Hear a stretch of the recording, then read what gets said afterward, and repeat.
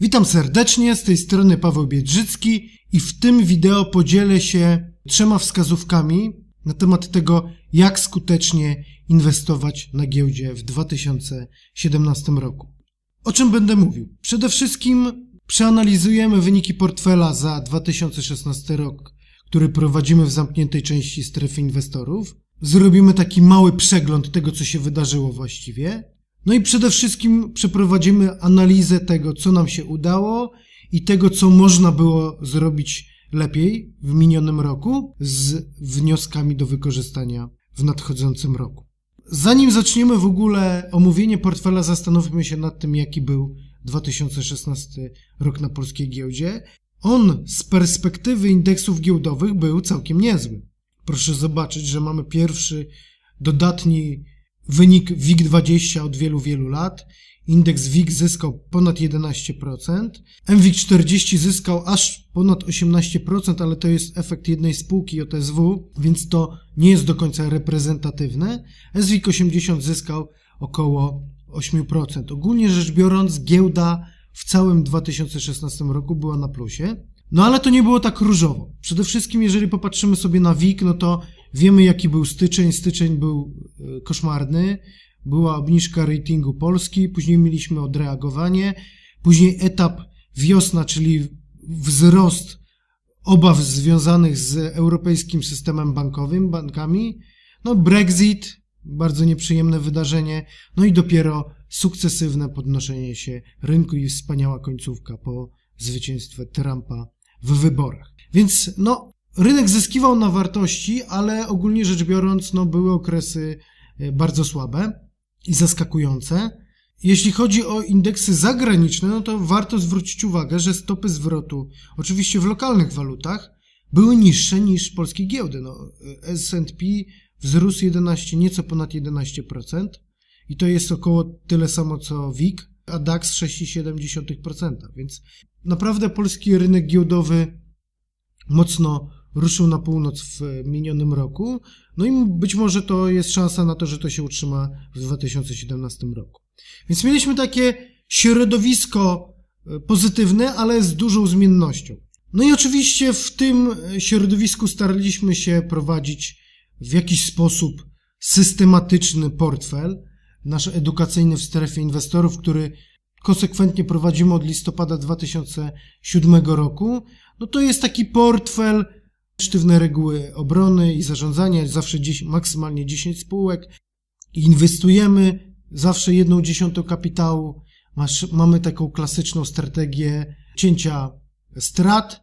No i staramy się wycisnąć z tych spółek, które mocno zyskują na wartości, jak najwięcej e, zysków. No to jest taki portfel od kilku tysięcy złotych.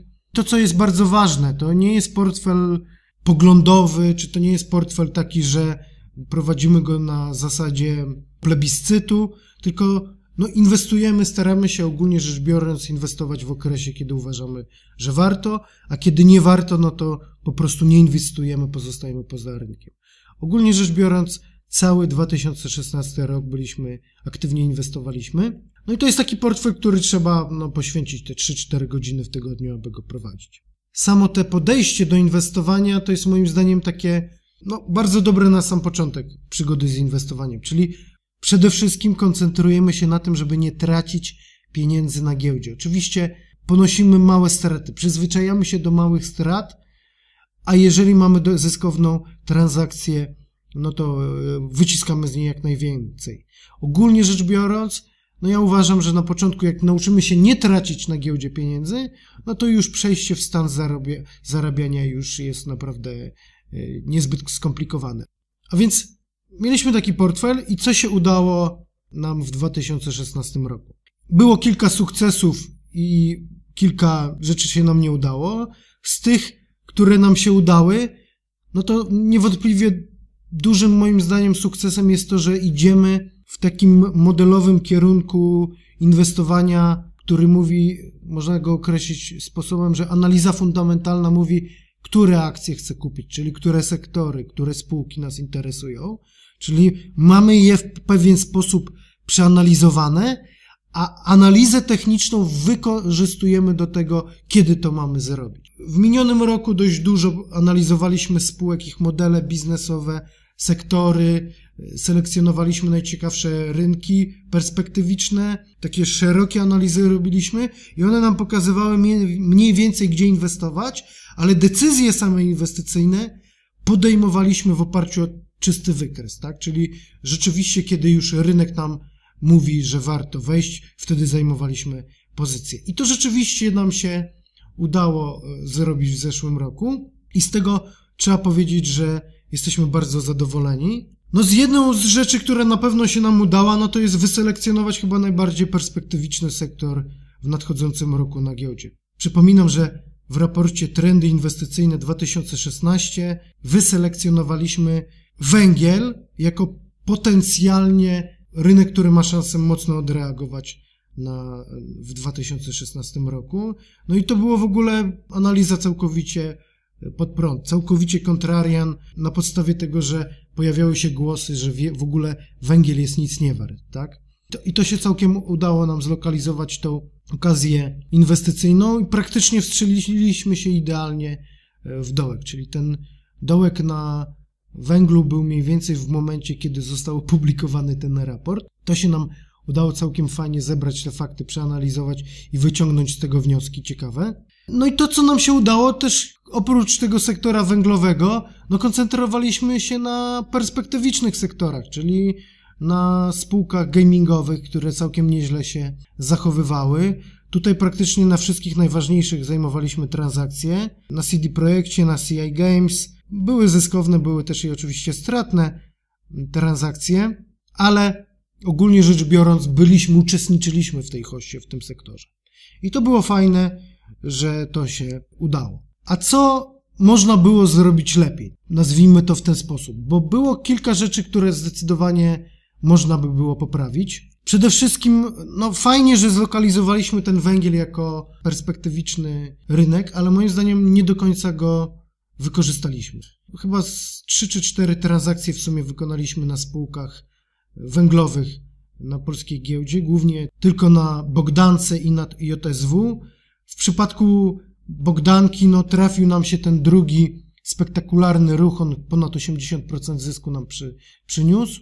Była też strata, ale w przypadku JSW przegapiliśmy cały wzrost z drugiej połowy roku od czerwca. To można było zrobić lepiej, no bo tutaj było do zgarnięcia kilkaset procent. My wiedzieliśmy, że węgiel ma potencjał, mieliśmy to całkiem nieźle przeanalizowane fundamentalnie, no ale tam technika był, no wiadomo, JSW było bardzo zmienne, bardzo duże odległości do potencjalnych poziomów obrony, ale to nie jest tak, że nie można było zająć pozycji. Moim zdaniem można było zająć pozycję i gdyby to się udało, to by ten nasz portfel w tym minionym roku dużo, dużo lepiej wypadł. Z rzeczy, które nam się nie udały, no to daliśmy się zaskoczyć Brexitowi, tak? Choć no, oczywiście nie tylko my. Tu mieliśmy ten okres Brexitu, czyli dzień przed indeksy mocno zyskiwały na wartości. Nawet my zajęliśmy kilka ciekawych, fajnych pozycji na tym indeksie. Znaczy, z takiej analizy danych no jasne wynikało to, że ten Brexit no nie jest niczym takim, co by się nie wydarzyło, to nie jest niczym takim istotnym dla, akurat dla naszej giełdy. No, wyniki tego referendum okazały się zaskakujące. Mieliśmy bardzo negatywną świecę, bardzo negatywne otwarcie, no i dużo pozycji po prostu wypadło nam z portfela z dużą stratą. Oczywiście, no my trzymamy się zasad i tutaj nie chcieliśmy w przypadku tego portfela edukacyjnego ich naginać, no ale to można było po prostu przeczekać, tak? Bo wiadomo było, że, że ten Brexit nie jest takim czymś fatalnym, jak się wydaje, no bo zazwyczaj, jeżeli wszyscy o tym trąbią, to znaczy, że ta wiadomość nie jest tak negatywna. I rzeczywiście tak było. Przypominam, że Brexit nie wyłamał minimów ze stycznia 2016 roku na indeksie najszerszym. Mieliśmy wyższy dołek, cofnięcie, no tutaj był idealny moment na powrót na rynek. No i też y, to, co uważam można by było zrobić, no to wykorzystać y, ten y, nie dość udany, nie do końca udany Brexit, wykorzystać jako okazję do zajęcia pozycji na JSW.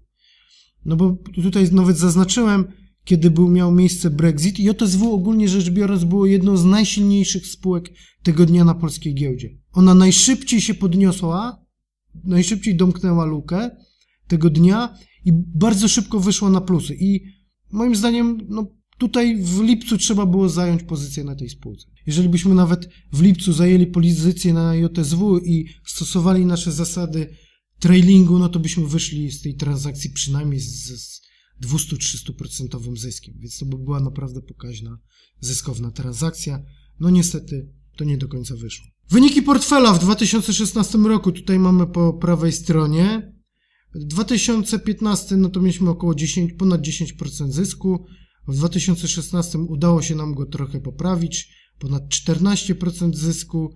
No, lepsza skuteczność, troszkę mniejszy średni zysk, ale za to mniejsza średnia strata. Ogólnie rzecz biorąc, te statystyki były takie dość e, przyzwoite. No szkoda tej transakcji na JSW, no bo to wtedy byśmy mieli e, spektakularny wynik. No i też szkoda tych kilku, trzech czy czterech strat na Brexicie ponad kilkunastu procentowych, bo wtedy też byśmy mieli wynik dużo lepszy. No ale tak bywa, to jest giełda, tutaj trzeba się trzymać zasad i my e, to robiliśmy. Ważne jest to, że na koniec udało się dowieść wynik pozytywny, nawet wyższy niż indeks WIG. No i oprócz tego, oprócz takiego tego portfela tradingowego, trendowego, no jeszcze mieliśmy bardzo dobry wynik na portfelu siły relatywnej. Ponad 30% zysku w 2016 roku, fantastyczny wynik i z tego też oczywiście jesteśmy zadowoleni. Jakie są powody takich, a nie innych wyników w 2016 roku? No przede wszystkim zmienność rynku, tak? To co mówiłem. No Brexit trochę ujął nam z tej ostatecznej stopy zwrotu. Maksymalne obsunięcie kapitału mieliśmy około 6% w minionym roku. Mieliśmy te straty pod kontrolą, ale gdyby nie to, no to byśmy mieli dużo lepszy wynik, około 5% wyższy na koniec roku. No ale udało nam się to nadrobić dzięki temu, że bardzo dobrze zachowywały się te sektory, na które stawialiśmy. Czyli głównie węgiel i głównie spółki gamingowe, to się całkiem nieźle udało, aczkolwiek zawsze można powiedzieć, że można to zrobić lepiej. Jakie są nasze wnioski z minionego roku? Mamy trzy takie najważniejsze wnioski. E, wniosek pierwszy to jest taki, że jeżeli jakiś sektor jest silny, to interesuj się tym sektorem cały czas i mocno.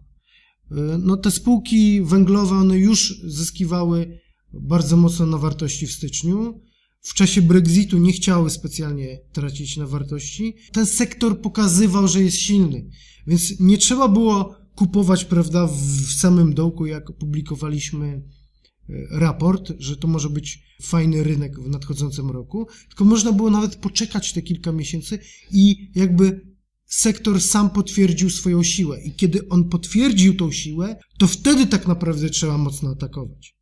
Tego trochę nam zabrakło, zwłaszcza na tym JSW, no bo na Bogadance mieliśmy ładną transakcję ponad 80% zysku. No i tutaj to się też wiąże z inną rzeczą. Jeżeli coś ciebie zaskoczy, to spróbuj to wykorzystać. No Brexit był czymś takim, co nas zaskoczyło bardzo negatywnie, ale z drugiej strony w czasie tego Brexitu bardzo silnie zachowywało się JSW. Można było wykorzystać to jako potencjalne miejsce do zajęcia dużej pozycji na JSW. Moim zdaniem, jak mamy wyselekcjonowany silny sektor i mamy taką panikę rynkową na rynku, to warto właśnie przekuć tą słabość rynku w jakiś próbę zajęcia pozycji na tym perspektywicznym rynku. I trzeci, moim zdaniem, najważniejszy wniosek, który powinniśmy sobie go przyjąć, Inwestuj w to, co znasz i rozumiesz.